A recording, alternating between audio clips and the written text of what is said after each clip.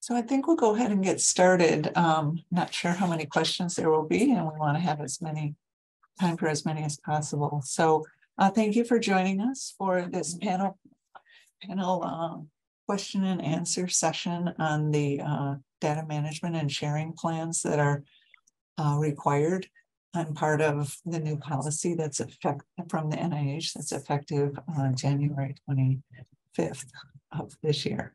So um, joining us on this panel are members of Dr. Hillard's uh, committee on um, implementing uh, this policy at MCW. So um, if you want to start us out, Dr. Hillard, with introducing yourselves and then other um, members of the committee who are our panelists today can follow suit. I'd appreciate it. Sure. So I'm Cece Hillard. I'm Associate Dean for Research. And um, as Catherine mentioned, we've had a, a really wonderful committee that's been working on this um, for well over a year now, kind of trying to get MCW well situated to be able to um, respond to this new requirement, as well as some other things about data. So um, I just really want to thank Catherine, and um, we also have with us Ryan Spellacy and Matt Richter. Um, I think Matt Flister's here too. Um, I'll let them introduce themselves, but they have all been on the committee and really done a great job in helping us pull this together. And then we also have Ashley Zeidler and um, Ashley Sanchez, who um, have taken care of putting together the LibGuide and the Infoscopes page respectively that hopefully um, you already know about, but if not, we'll put all that into the chat so you can um, be introduced to it. So I'll pass off to Ryan. Hi, Ryan Spellacy. I'm a bioethics faculty here at MCW, and I'm the director of the Human Research Protection Program which uh, includes the IRB.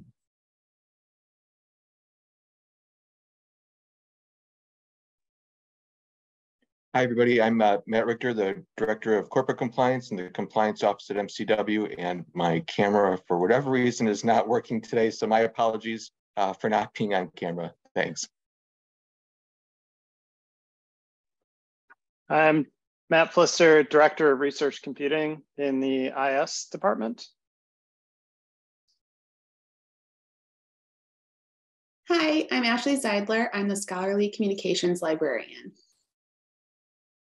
And I might have been remiss in not saying I'm Catherine Melsnot, and I'm um, in the libraries, uh, currently the Assistant Director for Scholarly Resources. So um, we can go ahead and, and dive right in. Um, last session, uh, um, Ashley read off questions that were in chat. You're also welcome um, because that works best for the recording um, so people can hear the question. Uh, often when you have a recording, there isn't a recording of the chat. And then you're also welcome to just jump in and um, unmute and ask a question as well. So um, we're open for that now.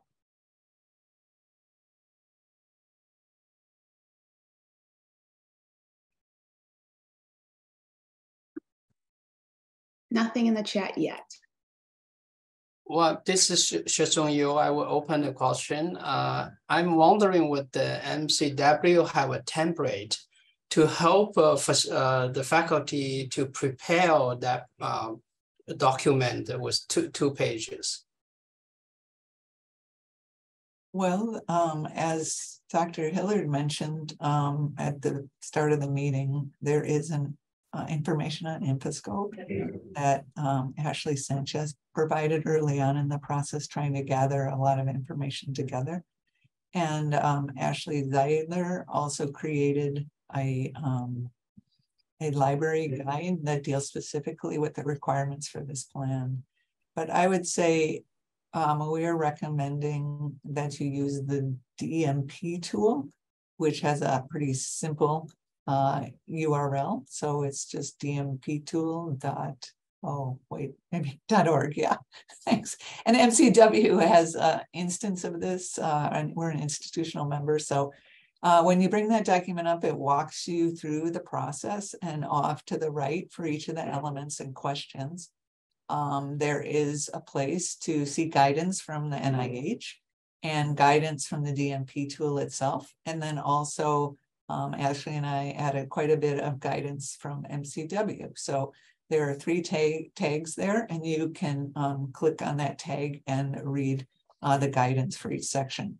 Also in the tool, there is um, kind of um, suggested language that kind of has a fill in the blank type of approach there. So um, there's a lot of information linked out in those tabs on the right hand side and a lot of information um, in our library guide as well as if you um, the NIH has has a page as well.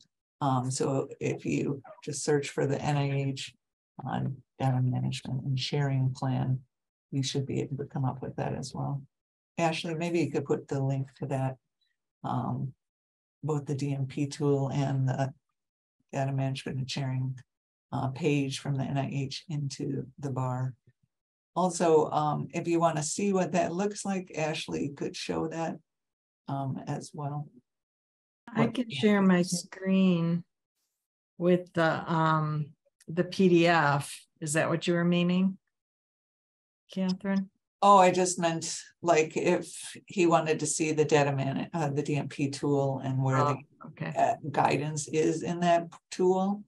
Um, So if you use this tool, it's uh, to- just to help you to address the question required, but not necessarily form a document you can be used. it actually will do that. It Oh, breaks it down. So Yeah. here, uh, CC sharing, um, the elements of the plan. Yeah, A, this is just kind of a draft that the NIH came out with. Now, the DMP tool allows you to input data into all of these sections mm-hmm, with the guidance available on the right-hand side of the screen. And at the end, you are able to print this out and it's ready to go. It creates the plan and then you can attach it. Oh, I see. That's re- uh, really helpful.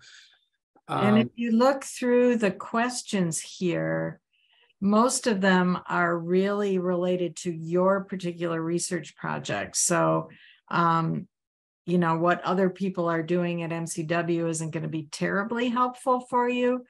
But one of the things you might, that um, it is important for you to look at is the last element six. This is, we have written some MCW boilerplate. Um, and that um, describing how MCW plans to oversee the project. And that's either available on Infoscope or Catherine, is that now in the, the tool, the DMP? It is, yeah. Okay, great.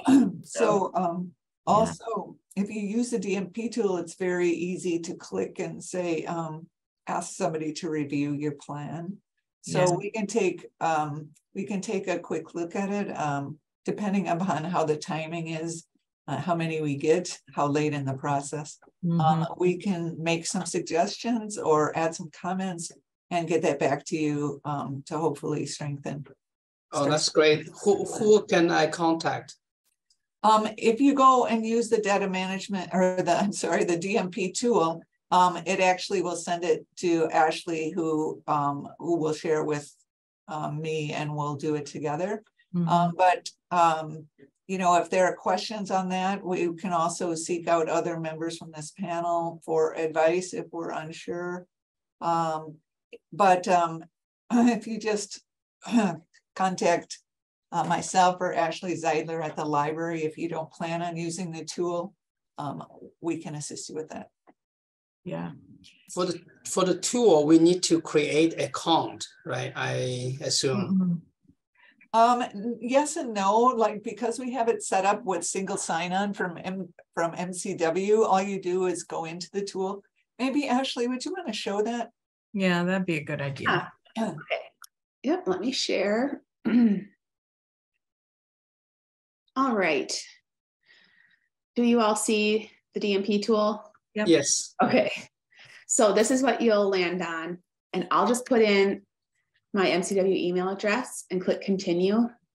And you'll know you're in the right spot because you'll see MC, um, Medical College of Wisconsin, and then just click this sign in with institution. And this should look familiar. So just click login, and now you're on the dashboard. Um, when you first log in, though, you will see probably this page right here. Um, so just filling in your name, um, institution should already be there, and that's about it. So it's pretty easy to get set up, and then you can get started right away. I see. And you'll always see our link to our email up here.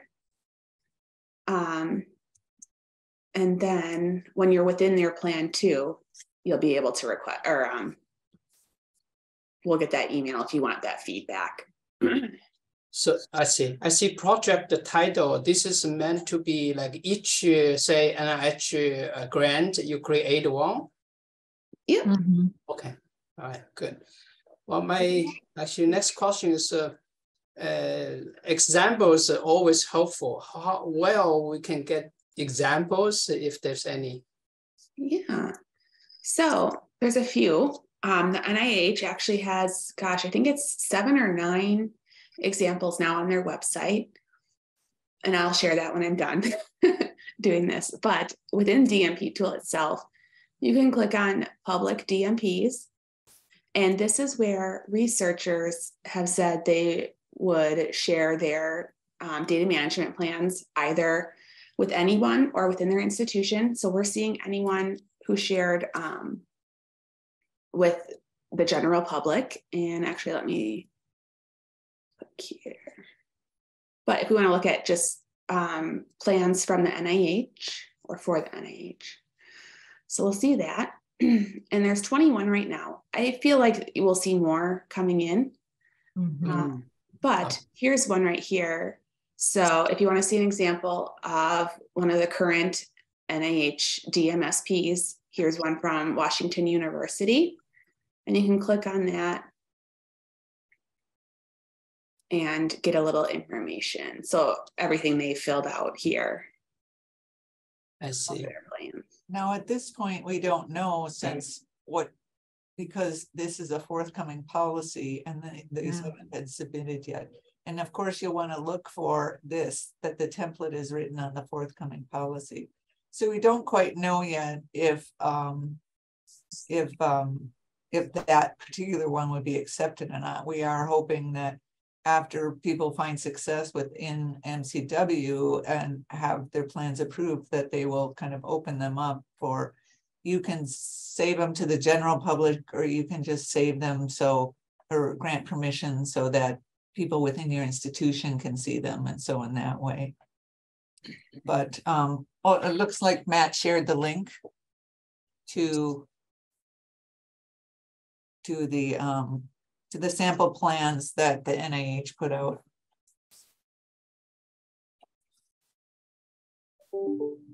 And since I'm here, I can show you um, what it looks like to make sure you have the Medical College of Wisconsin guidance turned on. Um, so actually, let me go back and create a new plan. So this is how you start out. Um, you'll find your funder. So the NIH, and then choose the forthcoming plan from the dropdown. And so I'll create that. And here you'll see on the right, um, select guidance. So DMP tool is always turned on. Um, and Medical College of Wisconsin should be turned on as well. But just want, if you just want to ensure that it is over here on the right, if it's unchecked, you can check it and click save.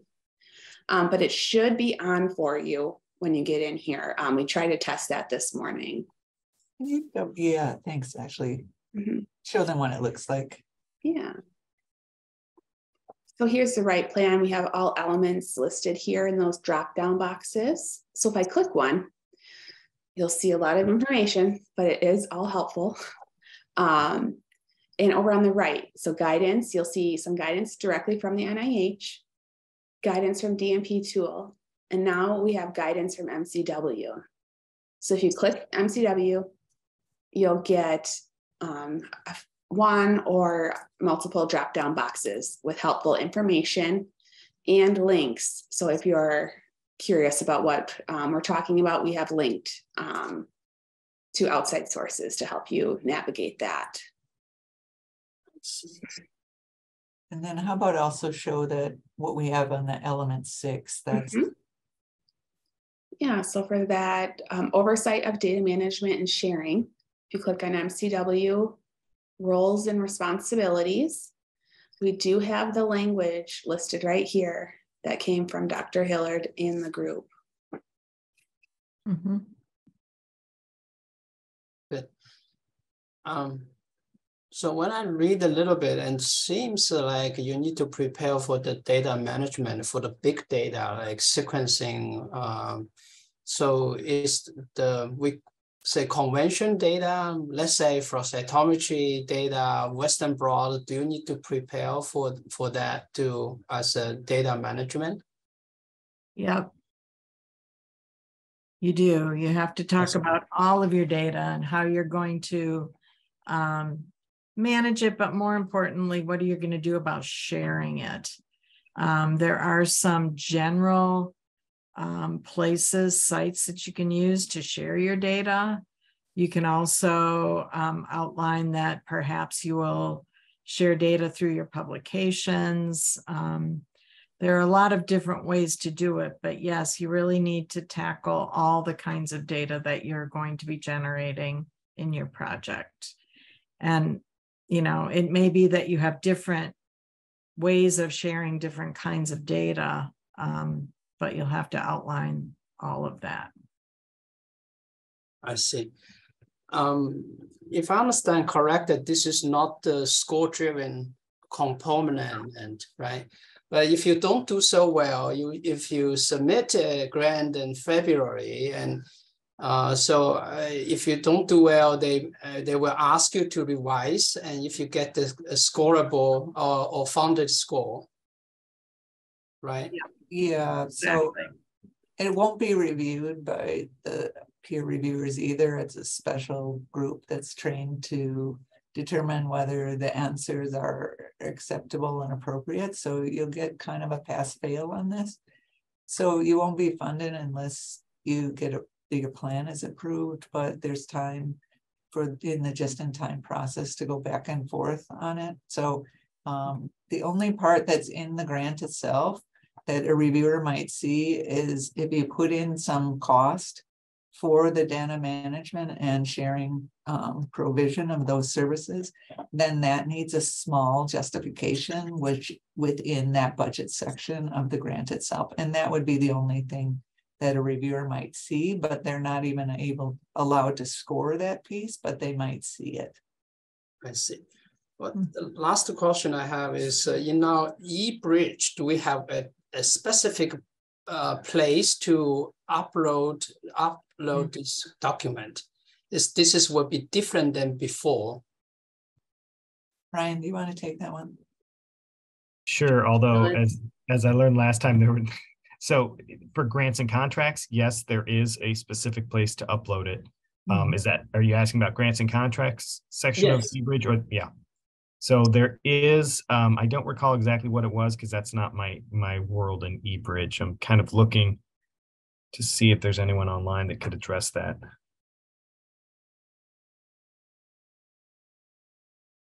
Um, we had an answer to that Yeah.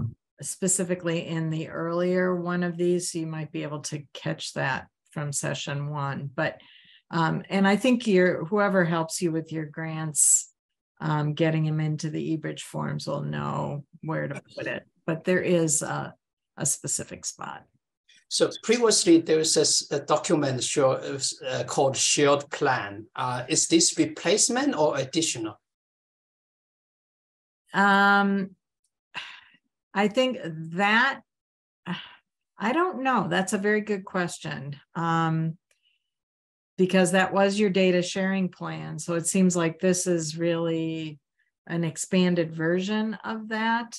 So I don't know if you need that anymore as you put in an NIH grant. Um, Matt Richter, did you, or Flister, did you guys see that in the FAQ? would- I would verify with grants and contracts, but I believe, Dr. Miller, that you're correct, that that, that was the previous, it way that eBridge accounted for this, although uh, now that this is a an expanded policy requirement and it has its own space formally allocated in NIH application materials that it's it's been moved to, I believe, the administrative uh, attachments section within eBridge. So you're you're accounting for it, but in a separate spot now where you can upload that two-page plan. Mhm. And again, please verify that with grants and contracts, but that's that's my understanding. Yeah, Well, that- and think- remember that this is now required, where in the past that sharing plan was not required for all grants.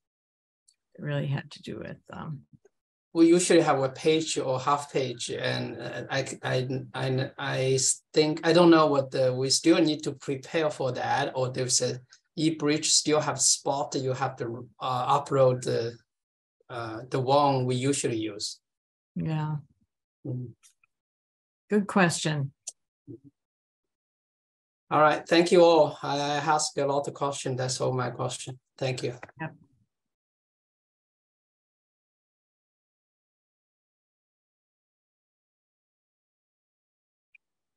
We've been urging people who, um, who are putting in grants for this first February deadline.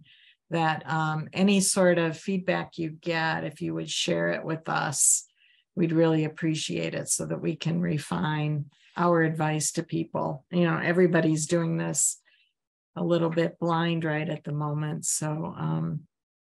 It may take us a little bit to be, be absolutely sure what, what's gonna be required. The other thing is, that's um a little bit hard to find in the fine print is they don't want you to use URLs or hyperlinks in your data management sharing plan. And this is quite tempting in certain sections.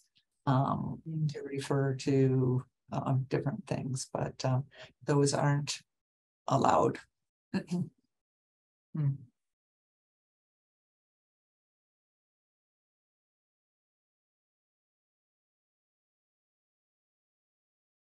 Any other questions? I'm sure you've got questions.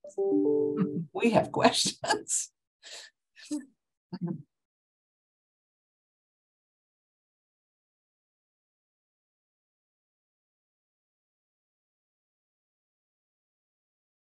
One thing I would say is, um, look at this early.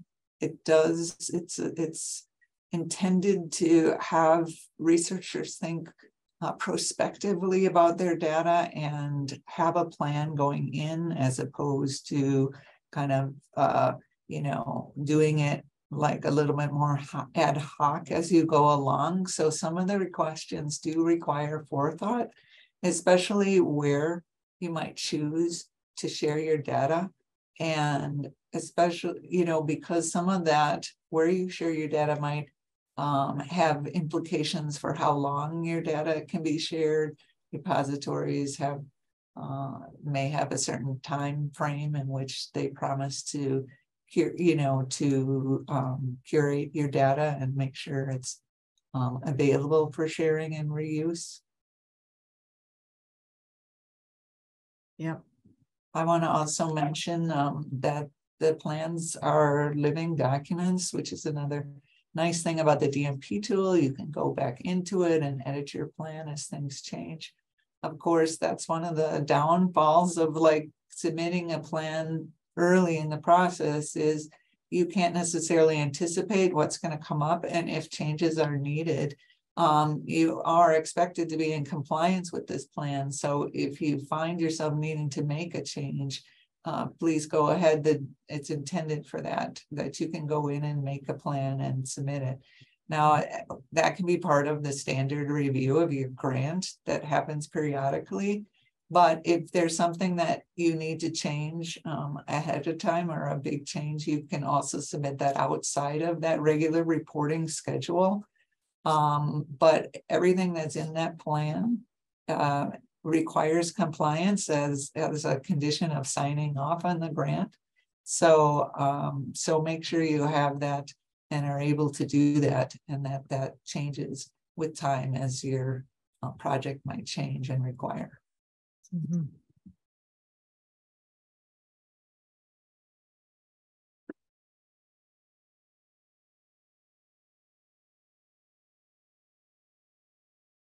Um, I can just yeah, questions? I was, I could keep talking about little, little things that are, um. That to keep in mind too, but, um,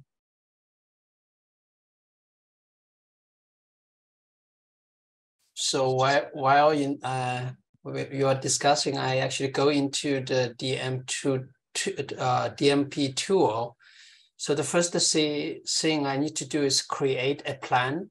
Uh, there's there's just no rec- rec- record of association associated. The right, so this would be your first plan. This is your first time in the tool. So you have to create a plan. You may have multiple grants. And so you may have multiple plans in there, but because you haven't used the tool before, you have to start. Uh, your, your plan. So the first thing is to put in, you know, enter the title of your project or your grant. And then start describing it. Mhm. okay, good. I will, I will get into. Thank you. Mhm.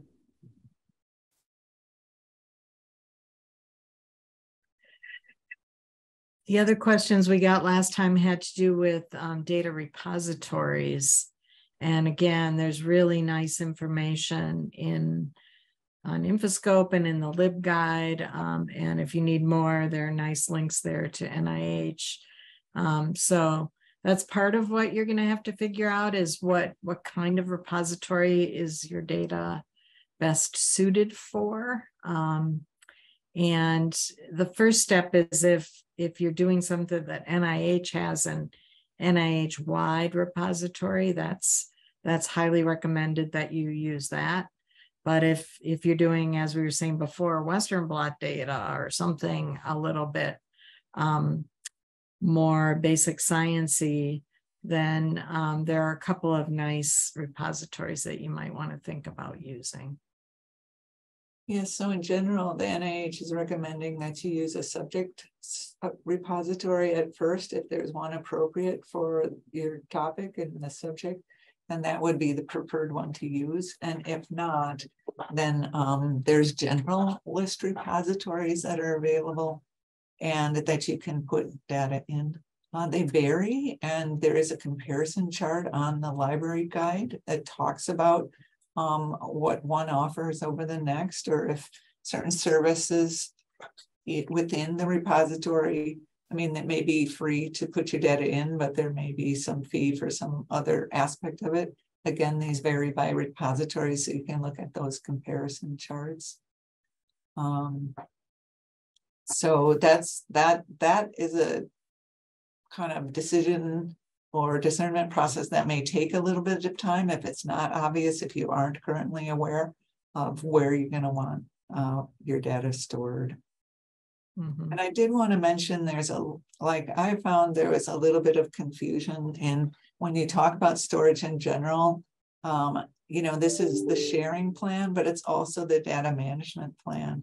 So you need to describe how you're gonna manage your data within the grant cycle, but then also how you're gonna share your data for later use. So some of the storage is about keeping like your data safe and secure and do you have backup copies, those kind of things. And then the other part of the storage is storing it in something that can be um, shared with other researchers.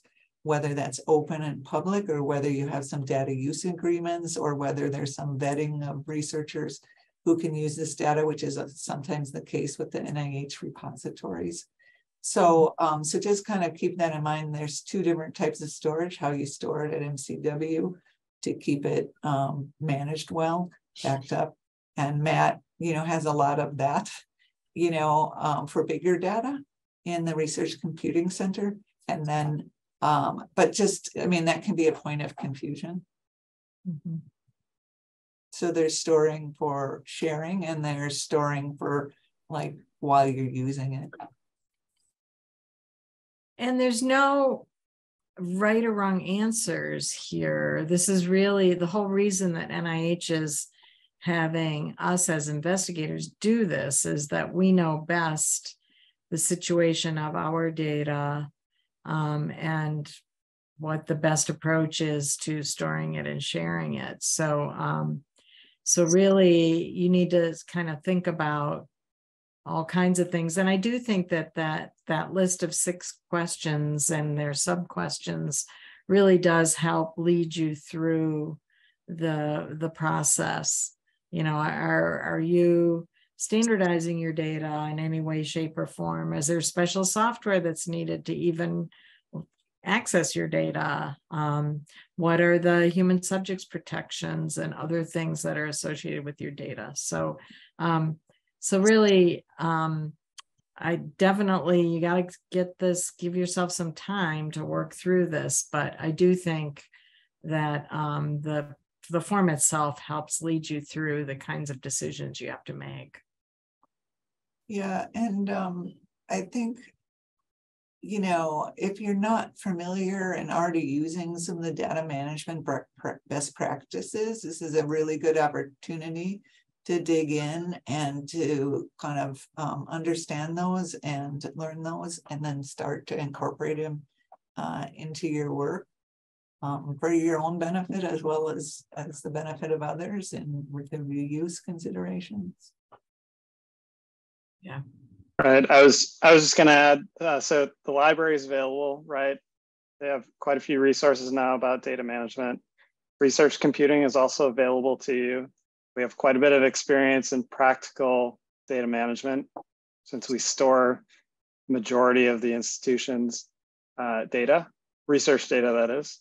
Uh, and the whole point, I'll summarize it like this, uh, Cece. I think the point of these plans is so that uh, when you get to the performance period of your grant, it is easy for you to execute the actual research so that these questions are answered before and not having to be figured out during the grant. You hmm. don't want to generate data and then have to on the fly figure out where it will be held and how it will be shared when it is required to be shared at the end of that performance period. So the, the ideal situation is that a lot of those difficult questions can be answered.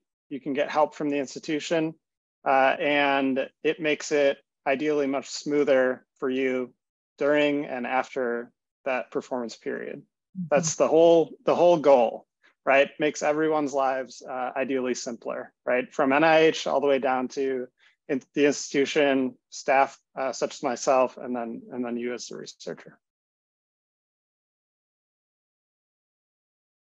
Also, I just want to point out that Lisa put in the chat the um, the instructions for where you actually upload this in your eBridge um, when you're making the SF 424 form. Administrative documents, other plans, or administrative attachments, other plans. I think Ashley's going to try to provide the chat as well um, when with the recording so that people can see that if you're watching the recording, look for the chat as well. Yeah.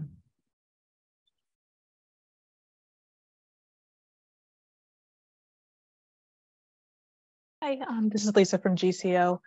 Uh, so my mic wasn't working before, sorry. Um, if you are working in ASSIST, there is a field called other plans. Um, I don't believe the numbers line up exactly with what they are in eBridge, but that's where it would go if you were putting your um, 424 together within ASSIST. If that is the case, um, when you generate the full PDF, because the document is not peer reviewed, it's not pulling into what comes into eBridge um, as a PDF. So you would want to upload that separately alongside your application when you're putting that in eBridge so that we can see it here. Mm -hmm. Thank you. And while um, we were mentioning earlier that um, the final plan could go through some iterations once you get your just in time and, and have um, funding approval, but there you cannot submit um, an R grant right now without a plan. So you do have to create this um, at the beginning. As Matt said, hopefully create it well so you don't, you really do have that roadmap for yourself.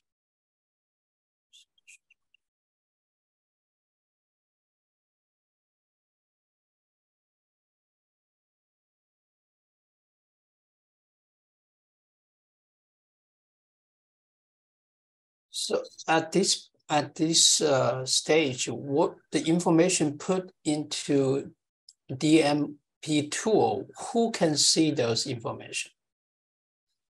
Well, if Mhm. until um only you until you choose like a a different sharing option, so you can choose to share.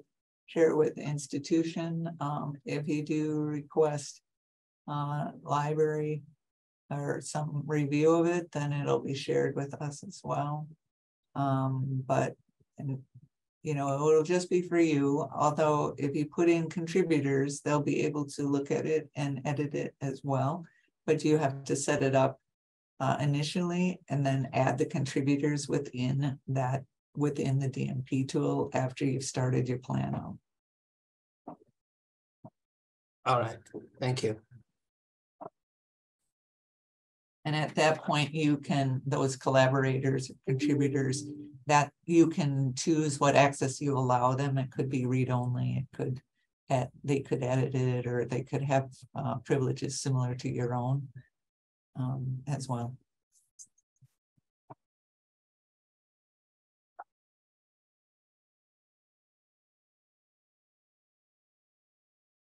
Anybody else?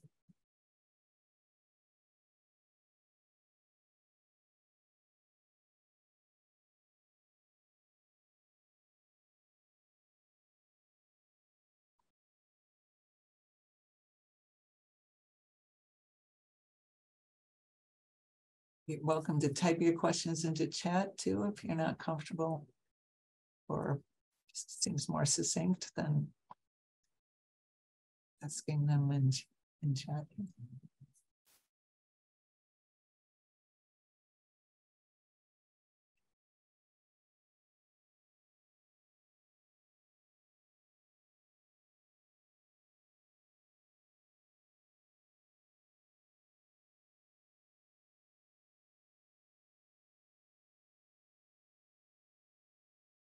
Well, we can also wrap up early.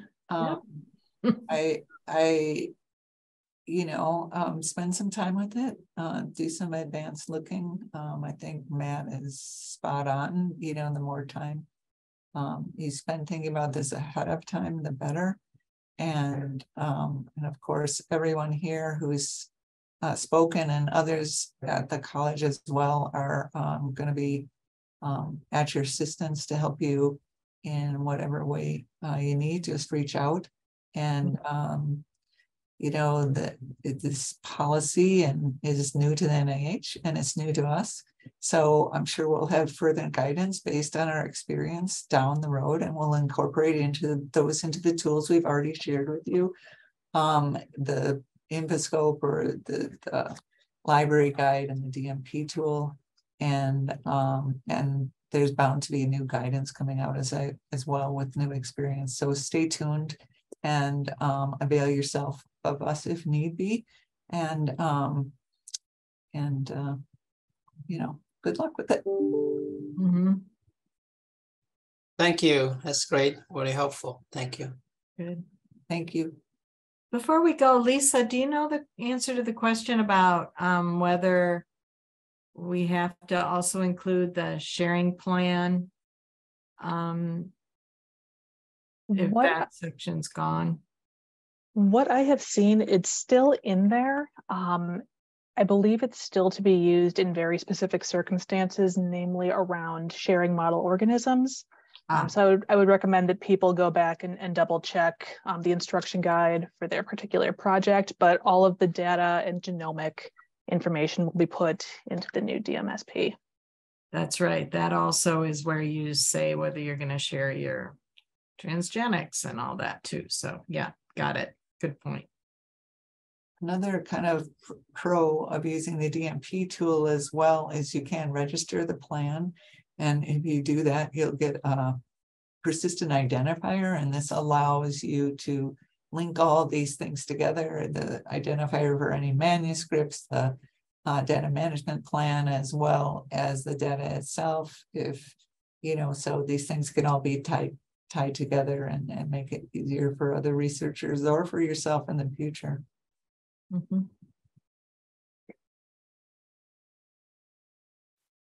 Matt, did, oh, I saw you un, unmute there, Matt. Did you have anything else? No, nothing to add. Thank you. Okay. All right, well, good. everybody, oh, Thanks, Catherine. yeah, everybody have a great day. Uh, thanks for spending, uh, some of it with us. And, um, we'll, we'll be in touch, I guess. Yep. Let us know if we can help. Yeah. Bye now.